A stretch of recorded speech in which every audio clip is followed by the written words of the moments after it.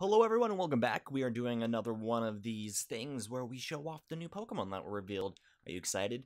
There have been five new Pokemon revealed in the last couple days. Uh, four of them are in this video and we had Turtonator revealed just the other day, so we'll get to him at the end.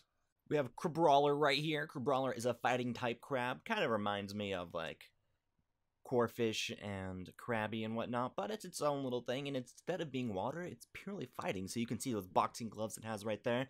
Yeah, Hyper Cutter and Iron Fist. This guy is not going to be something you want to mess with. So stay away and don't let those pinchers pinch you into submission.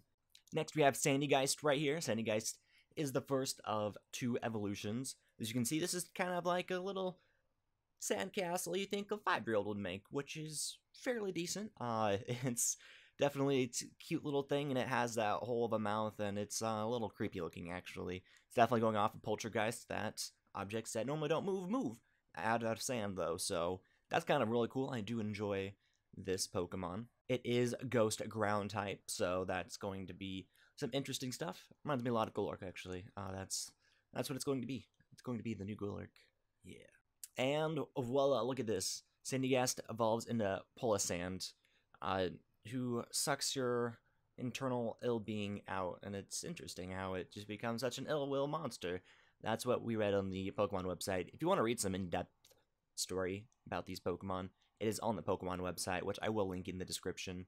Uh, it's kind of cool though. It's it's a bigger sandcastle, still with the shovel, but this time it's pointing up. And I don't think a five year old made this unless it's a very, very talented five year old. And then here we have Stufful, who is a normal fighting type. This is actually the Pokemon that becomes before Bewear. Uh, yes, that comes before Bewear. So I'm thinking this is such a cutesy little Pokemon. Although the head definitely looks a little too round for me in that side view, but it's overall, uh, it's cool. It takes the whole Bewear thing and it makes it kind of like into a circular little tiny creature, kind of like a cat. So it makes you want to think it's cutesy. And here we have Turtonator, which is a fire dragon.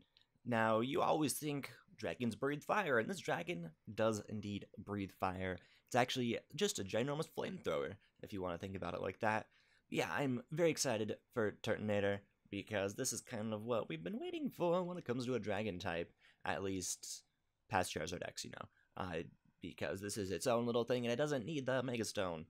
I'm excited though for Turtonator, and I hope you are as well.